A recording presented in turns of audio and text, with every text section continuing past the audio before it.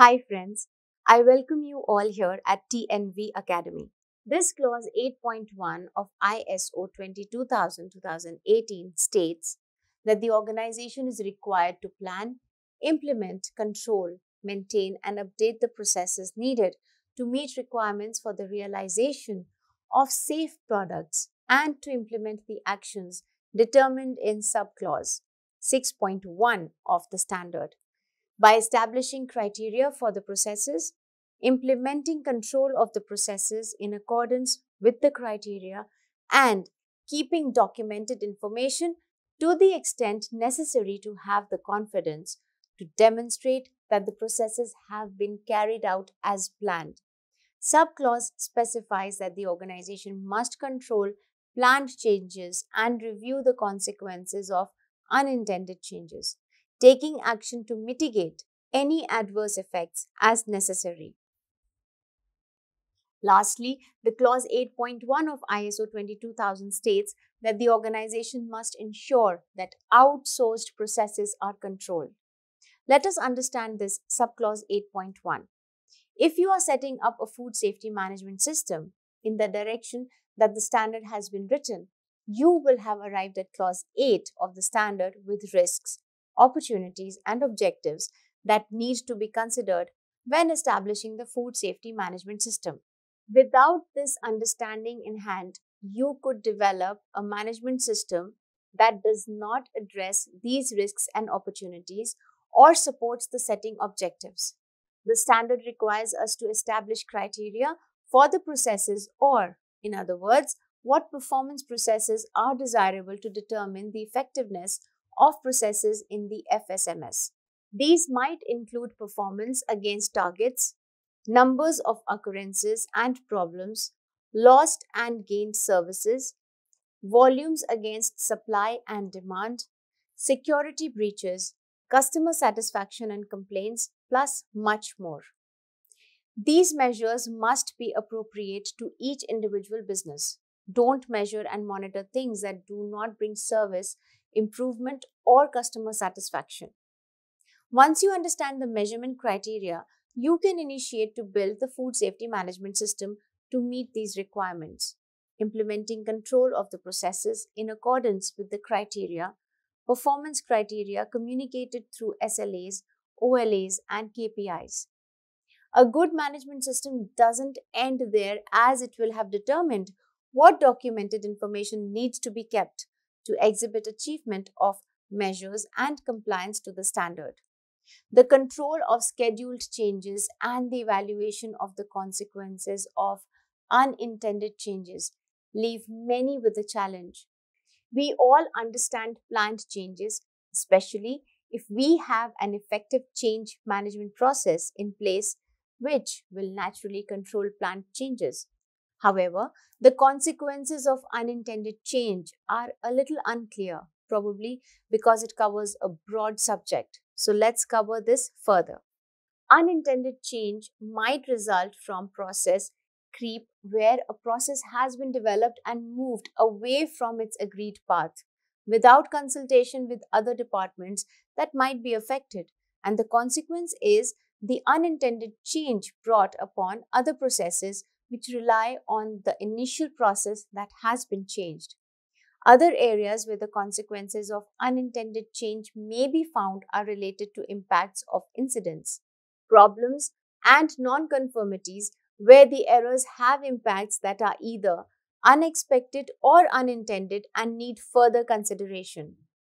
Another example in relation to this standard is service creep, where items of equipment owned by a customer and outside the contracted service agreement are accepted up in the service contract because of poor asset management and configuration management. And you effectively end up servicing equipment for free. If these types of things occur, it is important that the actions are investigated through to root cause level to prevent their repetition. Coming now to clause 8.2 prerequisite programs PRPs the subclause 8.2.1 specifies that the organization is required to establish, implement, maintain and update PRPs to facilitate the prevention and or reduction of contaminants including food safety hazards in the products, product processing and work environment. The clause 8.2.2 states that the PRPs must be appropriate to the organization and its context with regards to food safety and appropriate to the size and type of the operation and the nature of the products being manufactured and or handled. As per this subclause, the PRPs must be implemented across the entire production system, either as programs applicable in general or as programs applicable to a particular product or process. According to subclause 8.2.2, PRPs must be approved by the food safety team to meet the requirements of the standard. Coming now to subclause 8.2.3. This subclause 8.2.3 states that when selecting or establishing PRPs, the organization is required to ensure that applicable statutory, regulatory, and mutually agreed customer requirements are identified.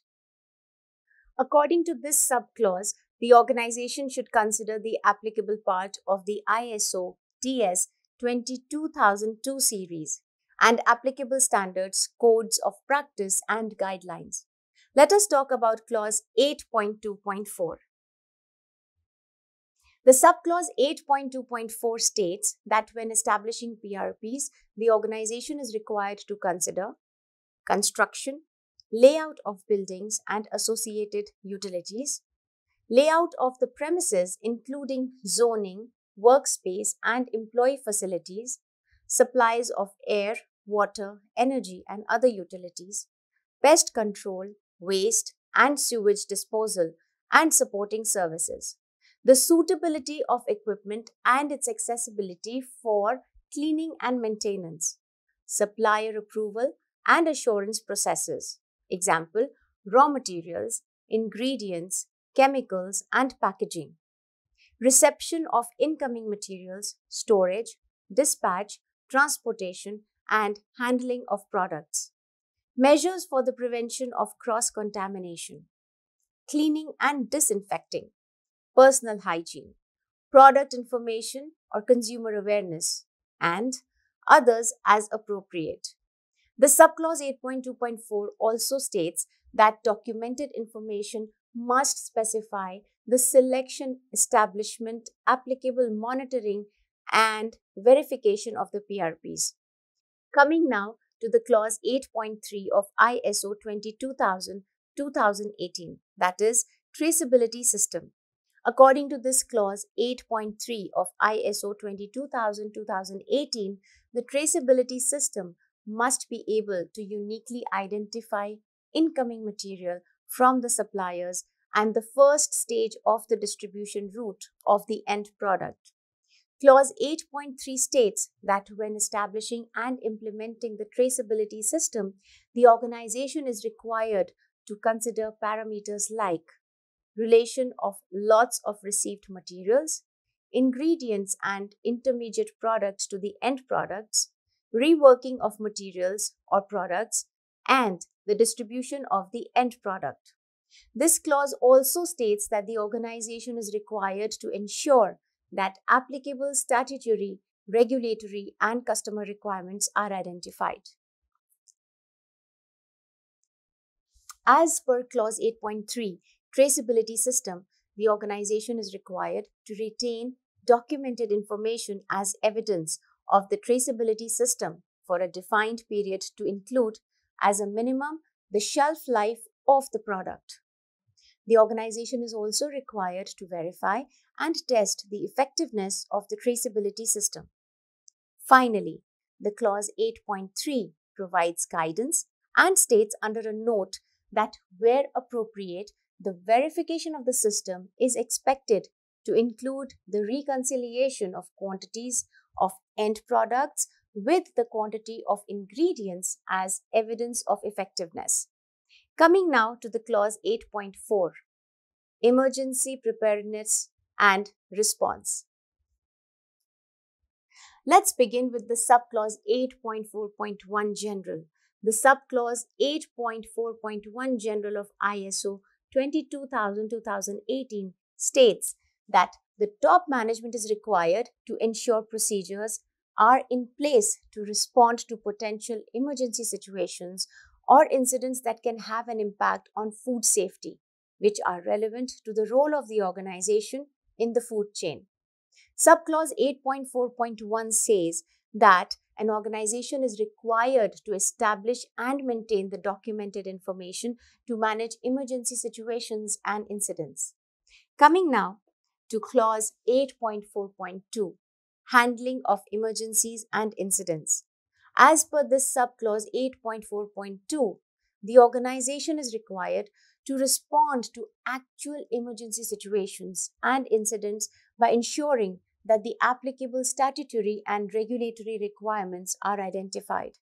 Organization is also required to respond to actual emergency situations and incidents by communicating internally and externally with suppliers, customers, appropriate authorities and media, etc. This clause says that organization must take actions to reduce the consequences of the emergency situations appropriate to the magnitude of the emergency or incident and the potential food safety impact. As per this subclause 8.4.2 of ISO 22000, organization is required to test procedures periodically where practical. Organization must review and update the documented information after the occurrence of any incident, emergency situation or tests wherever necessary. Lastly, the subclause states under a note that examples of emergency situations that